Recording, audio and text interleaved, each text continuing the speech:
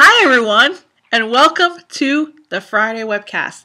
And I have to tell you, I know you guys, last two weeks, there's been some delays in the webcast, and I apologize about that. But tonight I am on time, but probably not as on time as you guys would have liked because it's about 9 o'clock, but it is still Friday. Um, I know some of you have been very frustrated because um, I think in the past week there were a lot of delays with. Um, just coming up against closed doors, you know, in this past week, not being able to feel like you're moving forward.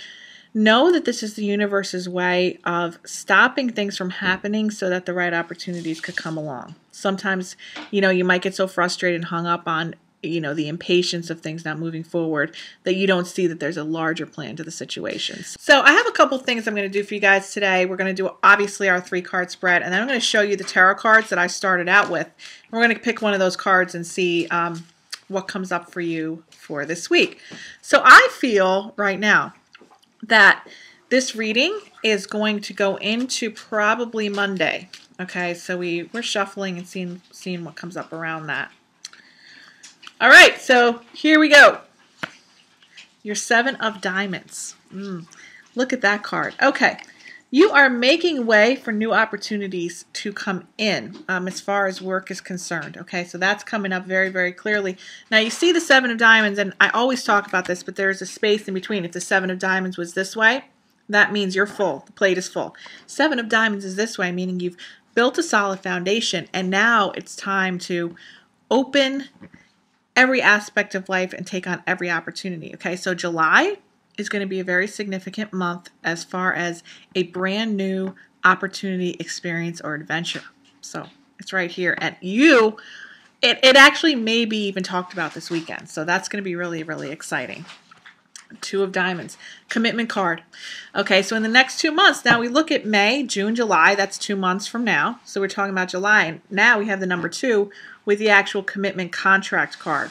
So this card is a signing of paperwork or contract or taking a deal or actually committing to something that connects to your purpose. Okay, so that's the two of diamonds signi signify. So if you look at the first two cards, we have the seven of diamonds, then the two of diamonds. Remember, I said a big opportunity is coming, an opportunity that you've actually finally made way for. Okay, you've you've cleaned everything out. You finally opened up the door for something new to come in.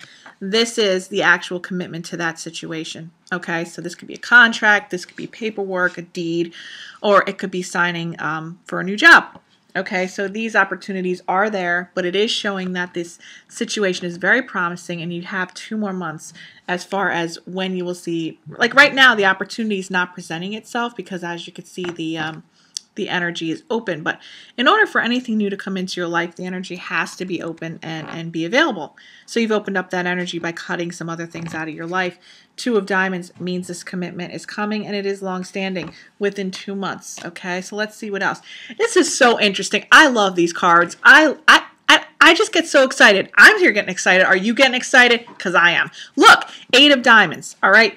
Now, that's really weird. We got the seven, we got the two, and we've got the 8, okay? So we got July, we got the 2 for the next two months, and we got August. Now look at this. Look at all your diamonds filling all the space. Everything has fallen into place. That opportunity that was not there in at this point in time, see the space, has now been filled. So by August, things are actually in place and you will be able to move forward. This is amazing. Three diamonds, I, I can't get any better. I'm not even going to pick another card because I don't want to ruin it. But I'm going to show you something. These are my first tarot cards that I've ever used. Now look at they're like life size, okay? I was taught on these cards and I haven't really been using them since I actually learned how to use the, the playing cards because the playing cards are a little bit more accurate for me.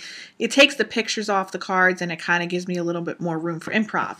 But the symbolism, I always teach morphing and symbolism on the tarot because you know when i had classes and everything i used to teach people to actually before you get the clairvoyant visions um, this is kind of like a stepping stone to that. So you can take images um, be drawn to the symbols and also be able to morph and interpret the symbols and it helps with your clairvoyant ability. So let me see what kind of card i pick out for you tonight. Oh my goodness you're a gem. Look at this the 10 of Cups. Now, you're going to laugh at me, and this is pornographic right now because you see there's a boob there. That's right. Look, there's a boob on this card. Now, this to me, the 10 of Cups is is a card of ultimate ultimate happiness and fulfillment. This summer is going to be very very exciting for you on a lot of levels. Not just ambition and what I was talking about, but also this card always represents short trips or going away. So I also feel cruises with this card. So some of you may be booking a cruise or some sort of trip by boat over the summer.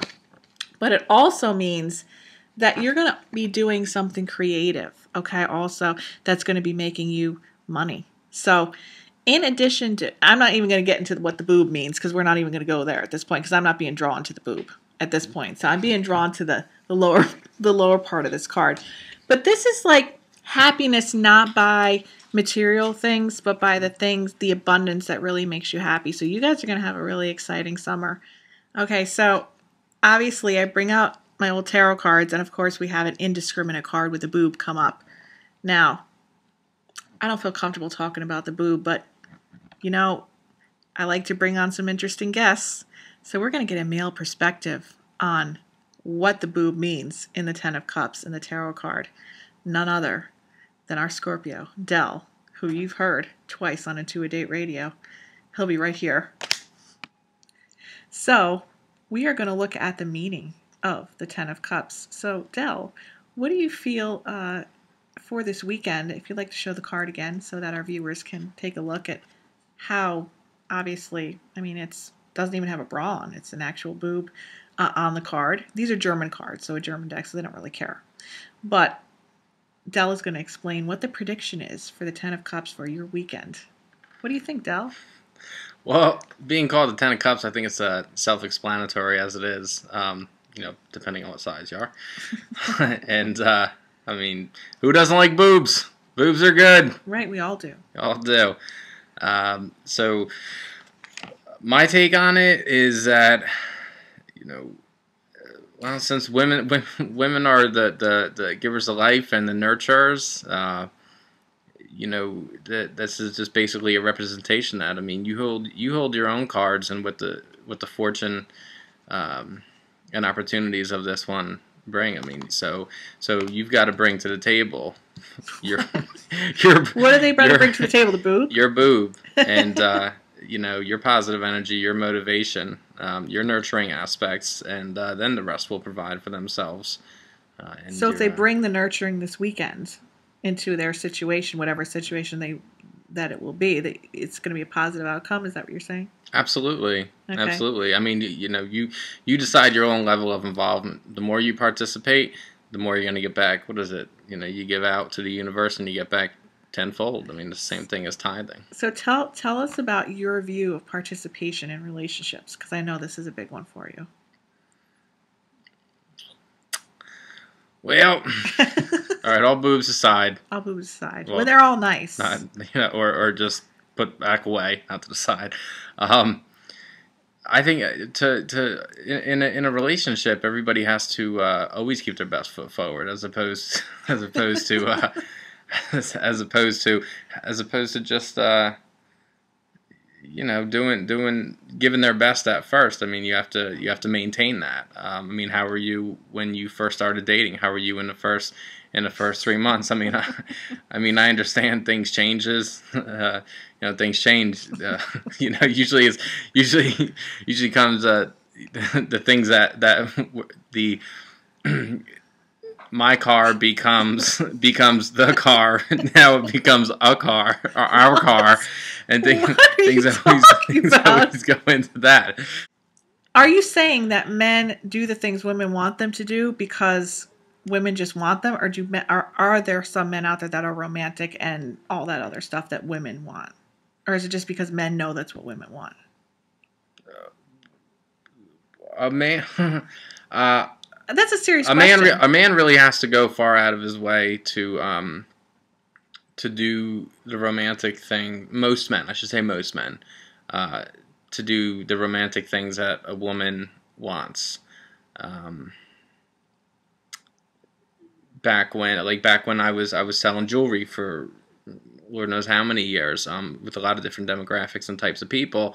Uh, it was always the same thing. Like the man didn't want the woman's help um, because he wanted he didn't he didn't want her to come to the store because he wanted to feel proud about picking the ring out. Um, probably would have made it himself if he could, uh, but he wanted to. That that was a big deal for him. He acted like it wasn't, but it was a very big deal for him. Um, and he wanted he wanted to make the kind of presentation, and and he wanted to, you know his woman to wear it with with pride and honor because it's a, it's a direct reflection of his affection for her. Um, now, now, um, most times the man, the man didn't listen to the woman properly. Uh, or get the uh, the hints like the 47 catalogs of jewelry spread across the house, you know, circled of what the woman actually wanted, uh, and um, you know the uh, it just wasn't always received well, uh, but the feelings were still the same. Uh, so, but that's that's a man going uh, out of his way to try and and be romantic. Um, even if even if it's a guy that that's, that's pounding on a gate ten minutes after the jewelry store closed on uh, Valentine's Day and saying, "I really need to get in." Do you have that happen? Uh, oh, uh, well, you know, I'm not going to put the guys out there like that, but um, uh, yeah, in, in coming full circle, that's even if it wasn't planned, uh, and it, you know a better effort should a timely effort should have been made. Uh, it does not lessen at all the um, the affection and the value um, that the man went that far out of his way to try and and please his woman. I hope that you guys just keep the faith and with those ambition cards, I mean, you really can't go wrong. You know, August is going to be a wonderful, wonderful time, and I think by moving into the fall, you know it's it's it's really going to have your whole plan is going to be in place so just hang tight and i hope you guys have a great weekend and always subscribe to our youtube channel with our webcast and listen to intuitate radio tomorrow at 3 o'clock 9:20 a.m. The Voice or 920thevoice.com live stream, or you can listen to the podcast anytime. And we have a lot of exciting guests and topics coming up. So I will see you next week, and I hope that you enjoy the rest of your weekend and relax. Alrighty, I will talk to you soon.